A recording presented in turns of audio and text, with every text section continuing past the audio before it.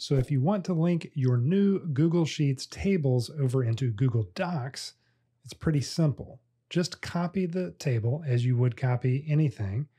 Come over here and Control V to paste, and you now have two options.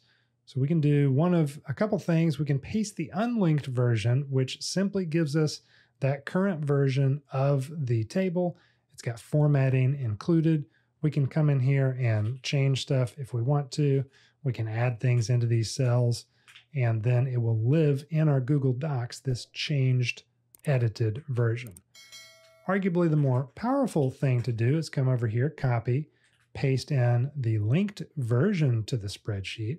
And now we've got the same table with one important difference. Instead of being able to edit stuff here and it just saves in Google Docs, which it will, if we ever come over here and make a change to our master data in the Google Sheets, now we've got this update option in Google Docs so that I can update that. It reverts any changes that we've made in Google Docs. So you don't want to edit things in Google Docs if you're planning on linking it because your master data, the source of truth, the single source of truth, is going to live in your Google Sheets. So these are two ways, linked and unlinked, to bring a Google Sheet table into your Google Docs like this video, subscribe to the channel, and check out this next video for more tips and tricks. Hope you have an awesome day, and goodbye.